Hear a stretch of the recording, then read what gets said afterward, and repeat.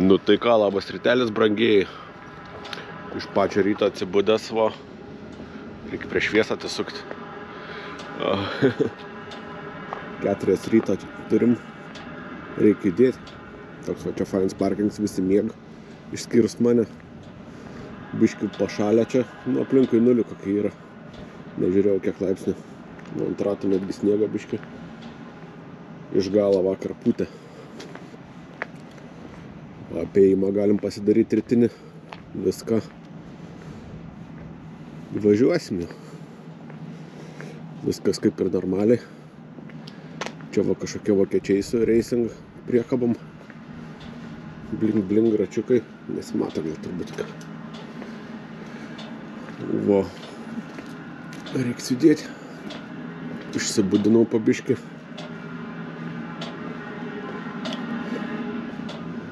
Viskas kaip ir gerai. Va. Žiūriu ratus viską. Ar vietoj, ar nepavagė nieks. Lendam į vidų, šalta. Vėjas biški. Nu ką, čia važiuoju savo arčiau jau Erebro. Žiūriu, čia biški sniega yra daugiau.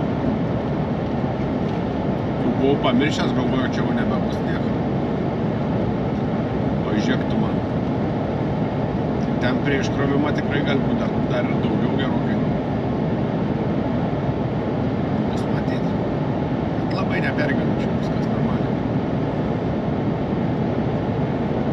Beje, šitą sekmadienio ryt pusę šešių, tai kelininkų irgi nepamatysi, kad čia druskos pabarstytų ten ar kažką. Be šans. Kol kas nors nenusirašys ant plikledžio kokią, tai tikrai nepamatysi jokio kelininką sekmadienį ryte. Nesu bent jau aš matęs taip, būtų. Nu, važiuoja ir važiuoja. nu, tai. Kol kas nebuksuoja ir gerai. Kai krautsiesi, tai normaliai, tuščiam blogiau būtų. Judam. Toks gražus rytelis, va. Priekšta. Nu ką, kaip sakoma, koks sėdims, toks ir pisims. Reikia pavalgyti. Tai turiu čia va birkelės. Dedam birkelės. Kiaušnienės užsimaniau. Labai kažkodėl tai. Tai va, tai dabar su birkeliam pasikepsiu birkelių, įsimušiu kiaušinių ir bus super. Bus pusrytėlis dabar čia 9 ryto, jau sustojau parkingę. Reikia, sakau, pavalgyti kažką. Paryčiais nesinorėjo labai. O dabar jau normaliai. Jau pralkau.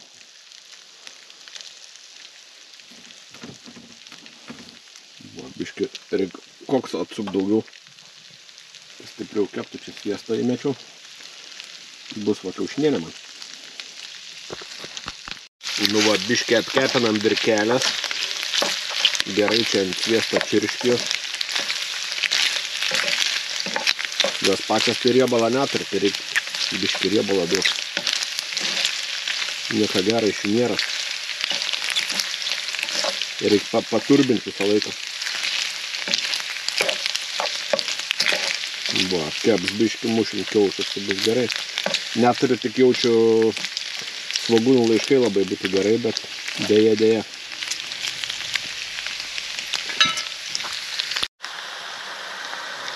Nu va, įmušiau tris kiaušus. Laukiam, kol snargliai susitrauks ir galim bus valgyti.